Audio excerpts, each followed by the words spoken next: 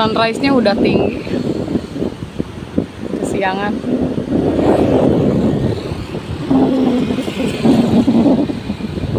Oke, assalamualaikum warahmatullahi wabarakatuh. Selamat pagi semuanya, teman-teman. Balik lagi bareng Kibo di channel Kabar Pangandaran. Hari ini kita jalan-jalan lagi untuk melihat seputaran Pangandaran ya. Mungkin kalau dibilang untuk informasi wisatanya, eh, karena lagi sepi ya. Dari kemarin juga sepi ya. Namun sesepi-sepinya Pangandaran selalu ada, walaupun tidak banyak. Nah ini saya lagi ada di jembatan Cikidang dulu teman-teman. Kalian juga bisa lihat sendiri suasananya seperti apa. Kalau untuk udara seger banget Alhamdulillah pagi ini nggak ada hujan. Kalau kemarin hujan sampai malam ya itu. Berhentinya di siang hari itu pun nggak lama. Cuma sebentaran doang Dan ini sunrise-nya udah tinggi tuh. Karena kita nggak nggak min nggak apa nggak niat untuk lihat sunrise tadinya. Dan ini untuk kondisi ombaknya bisa dilihat sendiri.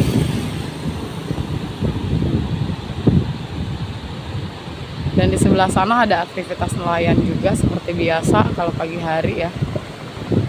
Nah ini teman-teman yang Kibo sering ceritain si warung ini warung ini punya lahan yang di situ. Nah itu bisa untuk disewa untuk camp ya. Kalau kalian mau ngecamp di area uh, jembatan merah atau jembatan Cikidang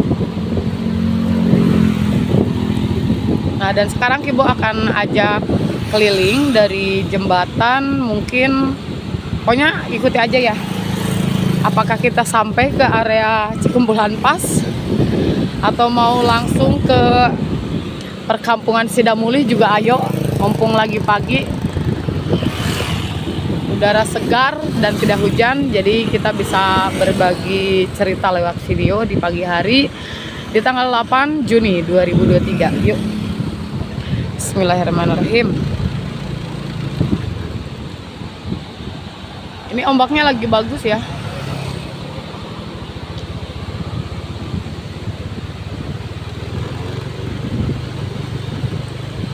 Tuh ini juga pengunjung nih.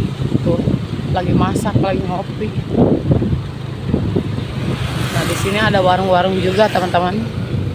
Bisa ngopi pagi-pagi nih di sini ada aktivitas nelayan seperti biasa rutinitas nelayan di pagi hari kalau kemarin nggak ada ya mungkin karena hujan sih hujannya dari pagi sampai sore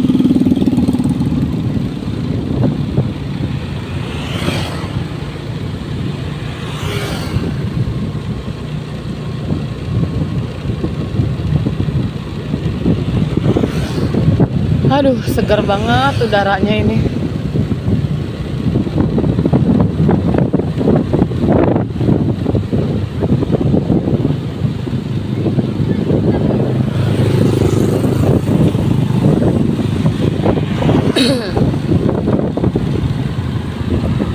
Tuh ada yang lagi pada jogging. Jogging-jogging di pagi hari.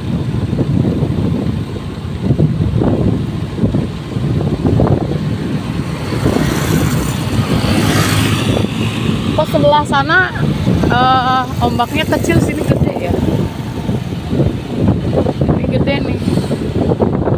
Di jembatan sana nggak terlalu besar kecil.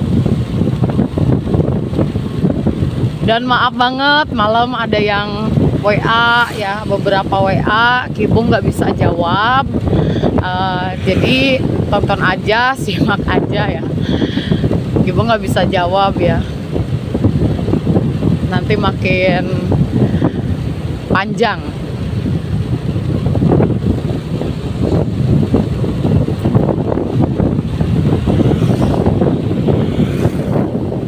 Jadi lucunya kalian itu ya uh, sebenarnya sih bukan nanya tapi uh, menyimpulkan.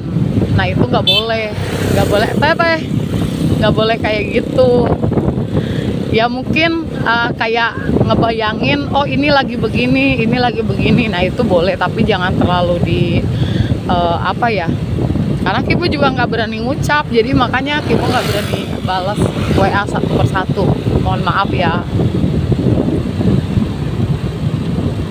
Ibu punya privasi juga. Oke, kita lanjut lagi ya. Ini sudah sampai di Pangandaran Sunrise, ikon Pangandaran Sunrise. Di mana kemarin di sini juga ada beberapa pengunjung ya, walaupun uh, cuacanya mendung ya.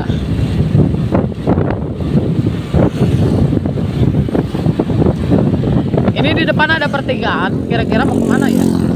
Mau belok kanan kah atau mau lurus? kayaknya lurus aja deh dulu ya ini kalau belok kanan ini menuju ke jalan pengadilan lama kalau lurus ini mentoknya ke pintu cagar alam bagian timur. Ini rumah makan karya bahari 3 buat kalian yang selalu tanya atau penasaran uh, Surabi kamu mau abaan di mana? Nah ini dia. Dekat uh, rumah makan Karya Bahari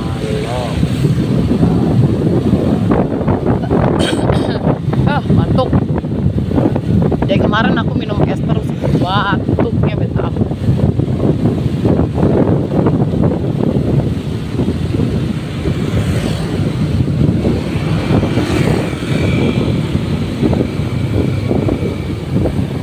Nah ini juga nelayan nih, kayaknya udah dapat ikan, tapi nggak tahu ikan apa.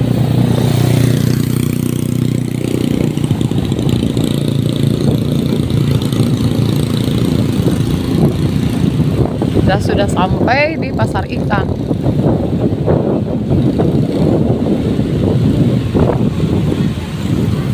Nah buat kalian yang mau liburan ke Pangandaran, apalagi ini sebentar lagi mau liburan panjang ya nah kalian kalau mau booking uh, rumahan di Kibo ada ya tiga kamar tapi tidak AC ada dapurnya kalian juga bisa masak ke pantai pun dekat jaraknya mungkin 30-40 meter di area pantai barat ke Taman Sunset itu juga dekat. Jadi silakan hubungi Kibo ke 087 700 158 168 dan kalau kalian mau pesan paket wisata pun di Ibu ada. Terus homestay juga ada.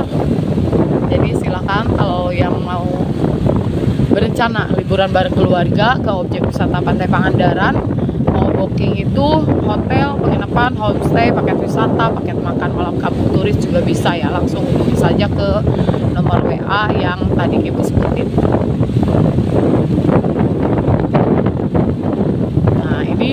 Hotel Sunrise. Kenapa namanya Hotel Sunrise? Karena posisinya ada di timur. Kalau di barat mungkin Hotel Sunset. Dan di sini juga ada aktivitas nelayan ya, teman-teman. Rutin juga di sini, cuma kemarin aja nggak ada.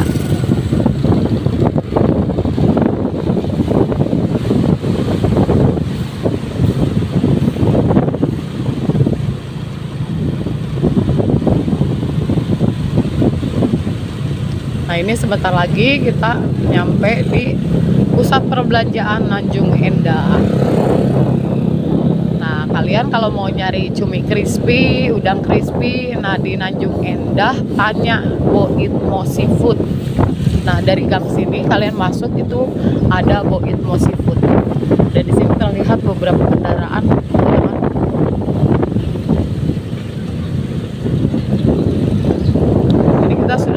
di Plaza Air Mancur di mana di sini juga nggak terlihat terlalu banyak pengunjung hanya orang tempatan saja yang lagi pada sarapan pinggiran pantai. Oke kita mau coba lihat nih di sini.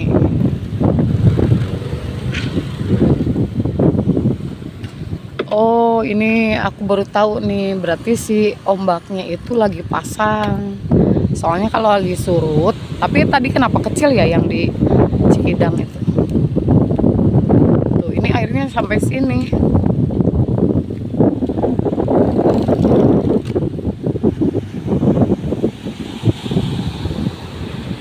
Tuh banyak nelayan yang lagi pada benerin perahu. Jadi suasananya seperti ini ya teman-teman.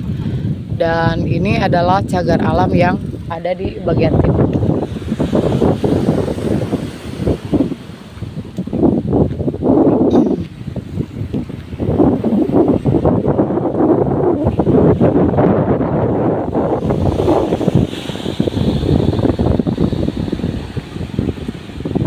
Aduh, segar banget ini anginnya. Oke, teman-teman, mungkin untuk informasi di area Pantai Timur sampai di sini kita nanti lanjut ke Pantai Barat.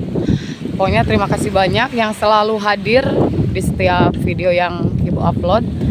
Semoga sehat selalu. Pokoknya lancar segala sesuatunya. Doa terbaik dari Ibu ya. Dan Ibu undur diri. Assalamualaikum warahmatullahi wabarakatuh.